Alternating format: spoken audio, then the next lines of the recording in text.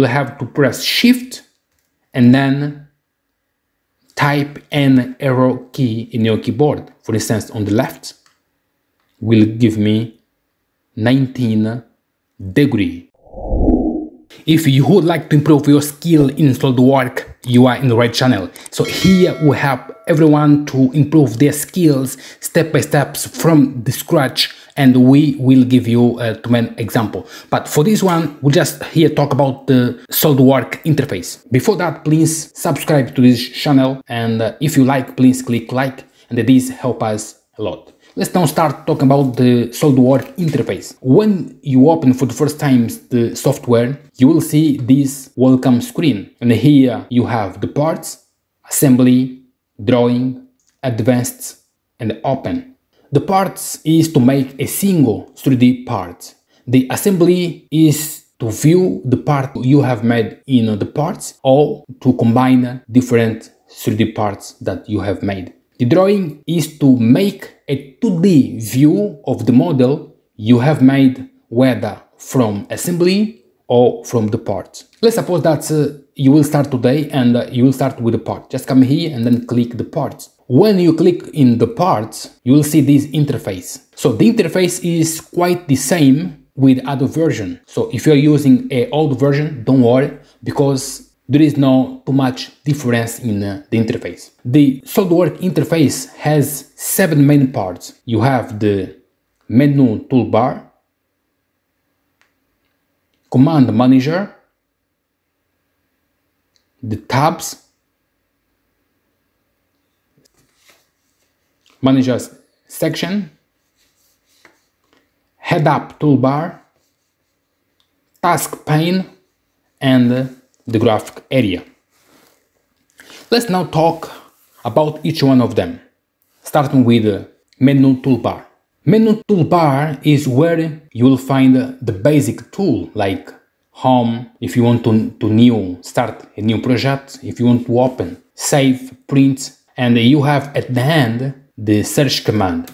So here is, if you don't know what is the command, just come here and type the command, for instance, line, and then we'll give you the line. So that's if you want to search a command. Command manager and the tabs. The command manager is where you will find all the commands you will use to make your drawing. And uh, depending on uh, the tabs you use, it will uh, change. For instance, right now I am in the features.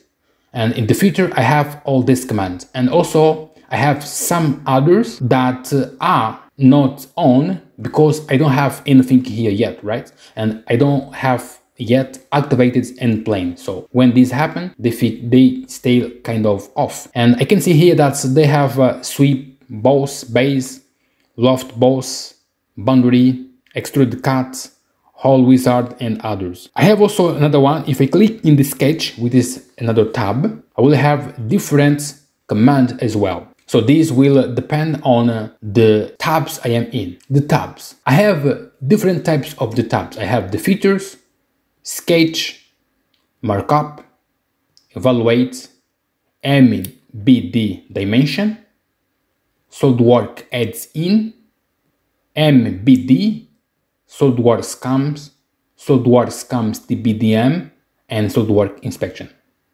Because you are starting from the beginning, I want you to focus on the first two, which is the features and the sketch. The features is to make the 3D modeling. So if you want to make a drawing in 3D view, you will always use the features. The sketch is to make the sketch in a 2D view. Of course, you once you choose the plane and then you can just come here to the sketch and the sketch will have all the basic command like the lines, the Seco, spline, ellipse, rectangles, polygons, and also we have, and if you go at the end, I have the instant 2D, but if I go to the features, I will see instant 3D. So that's the main difference between these two tabs, and they are very important and we will use a lot.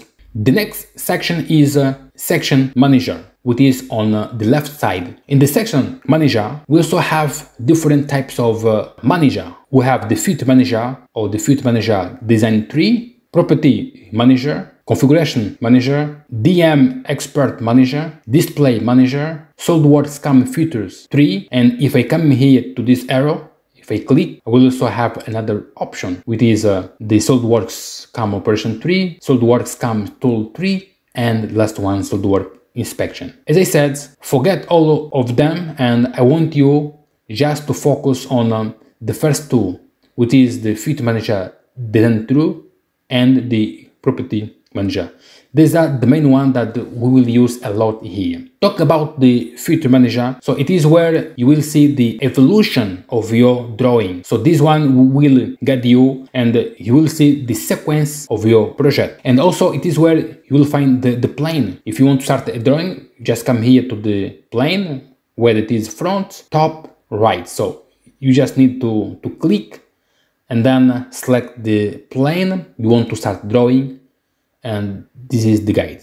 Now, when you start making your drawing, for instance, just come here to the front plane, select the plane, and then go to the sketch, just an example. When I activate a command, automatically will goes to the property manager. So when I activate a command, the property manager will automatically activate and they give me all the option for that command in this case the circle so I can make the circle of two points or three points if I go to the polygon the same thing so will give me the option of the side I want to use and also will, will give me the option if I want to use inscribe or circumscribes the dimension as well and uh, the point if I want to start in the center points or in uh, different points. We will talk more about this later and right now we just focus on uh, the SolidWorks interface. Let's go now to the next part which is the head-up toolbar. So if you want to deselect, just type ES key in your keyboard and then we'll deselect. Now let's go to the next one, which is a head-up toolbar. The head-up toolbar, which is uh, stay on the top of uh, the graphic. If, if you don't see here, just put your cursor in uh, the command manager, click right click in your mouse, go to the toolbar and then come here you will see the head up tool bar. So if you, you uncheck and then you go there, it's appear, right? So if you go back, right click in your mouse and then it goes to the view head up. If you check, if you just click and then we'll come back. So this one here, it is also very important uh, to understand very well. We'll just go to the another part. We'll just go to the part number one where I have one drawing. So to understand very well this head up uh, part, head up toolbar, this it is a, a way so that you can quickly find the side of your drawing. For instance, let's see, if you come here, click to this part, and if you want to go to the top, just come here, right? Select the top. If you want to go to the one side, to the front, if you want to go to the side, left, can see here back, see? So it is a way to find like on the top, this is the top. See, if you want to go there again, go back and you want to go to the one side, like to the front, just click there.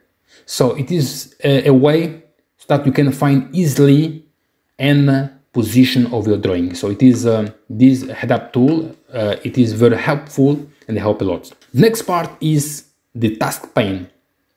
The task pane, it is where you will find the library, solid work resources, and also if you want to explore some file and the appearance of the scene, this one we will also use a lot during our drawing. If you don't see here, again, put your cursor in uh, the command manager, right click, goes to the toolbars, and then you can uh, come here, task pane. If I uncheck, it will disappear now, if I check, will come back. So that's the way this command uh, works.